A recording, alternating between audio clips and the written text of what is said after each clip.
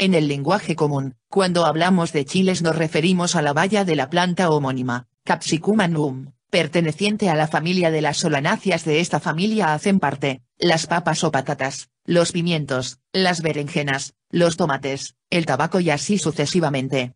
La planta produce bayas de color verde, indehiscentes, que no son capaces de abrirse espontáneamente por sí solos, además, ricos en semillas, durante la maduración, estos frutos, simplemente llamados chiles, cambian de color, adquiriendo tonalidades amarillas en un primer momento, luego naranja y finalmente rojo. Los típicos tonos de chile maduro son conferidos por la abundante presencia de carotenoides, en particular de capsantina. Acabas de haber cocinado un plato con chile, mucho chile, tal vez demasiado. Al primer bocado sientes tu boca quemar. Empiezas a beber inmediatamente un vaso de agua, pero la sensación de ardor es aún peor. Sabe que todo es culpa de la capsaicina, una sustancia química de la familia de los alcaloides y sustancias similares llamados capsaicinoides contenidos en los chiles.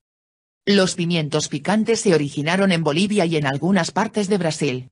Se propagaron a lo largo de América por los pájaros, inmunes a la acción de la capsaicina.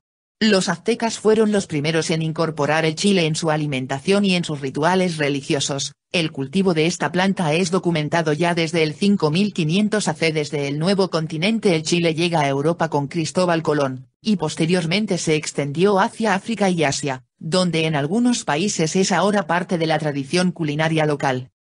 En 1912 el químico Wilbur Scoville decidió establecer una escala de quemadura empírica causada por la capsaicina llamando a un grupo de catadores de chile y mediante la disolución del chile en diferentes soluciones. Scoville fijado arbitrariamente la capsaicina pura a 16 millones de grados Scoville, que indican la relación de dilución necesario para perder el picante del chile analizado.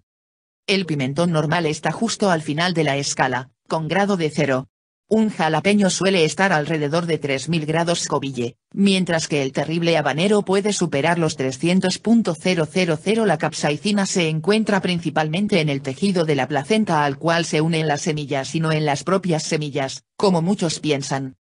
Sentimos una sensación de calor en la boca, pero no aumenta la temperatura. En general, cuando se percibe una sensación de caliente o frío se estimulan termoreceptores de nuestro cuerpo que se activan cuando la temperatura alcanza un determinado valor umbral.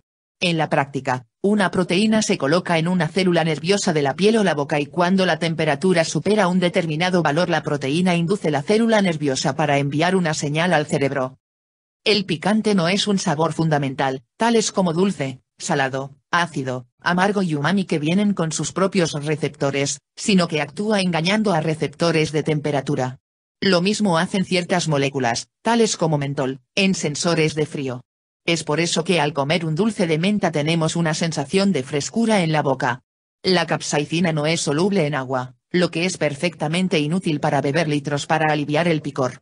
Es mejor comer el pan, que elimina por acción física la capsaicina de los receptores, Gracias a la buena solubilidad en el alcohol, la sustancia diabólica puede sugerir una cerveza fría como un remedio, sin embargo, la cerveza no es suficiente alcohólica. Sin embargo la capsaicina se disuelve mejor en grasas, por lo que puede tratar de suavizar el sabor picante de su plato con el parmesano rallado o grana. Más la caseína, proteína de la leche, actúa como un eliminador, envuelve la capsaicina y la elimina da los receptores.